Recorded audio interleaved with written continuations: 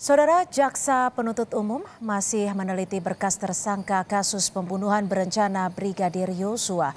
Berkas ini telah dilengkapi penyidik Polri dan telah dikembalikan ke jaksa. Kapus Penkum Kejaksaan Agung Ketut Sumedana menyebutkan setelah diterima kembali berkas perkara kasus pembunuhan Brigadir Yosua, Jaksa Penuntut Umum masih meneliti kelengkapan berkas. 12 berkas perkara telah diterima dengan rincian 5 berkas menyangkut pasal 338 dan 340 serta 7 berkas perintangan penyidikan atau obstruction of justice.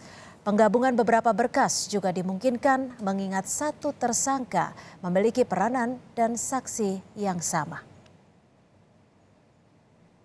Masih dilakukan penelitian sekaligus sudah sambil melakukan penelitian sambil melakukan koordinasi yang intensif, komunikasi dengan intensif.